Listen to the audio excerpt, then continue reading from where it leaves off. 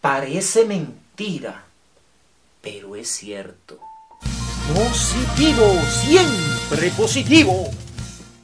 Tú puedes ser solamente alguna persona para el mundo, pero para alguna persona tú eres su mundo.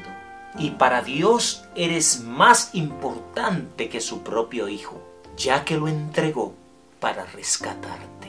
Solo me queda decir, gracias Dios, bendito y alabado sea tu nombre. ¿Y tú qué dices?